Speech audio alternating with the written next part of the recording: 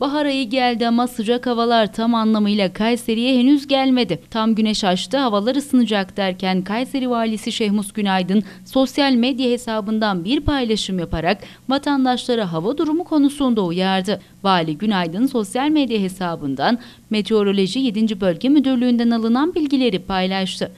Meteoroloji 7. Bölge Müdürlüğü'nün verilerine göre 2-3 Nisan tarihleri arasında Kayseri'de rüzgarın güney ve batı yönlerinden fırtına ve kuvvetli fırtına, yüksek kesimlerde de hamleli kuvvetli fırtına şeklinde esmesi bekleniyor.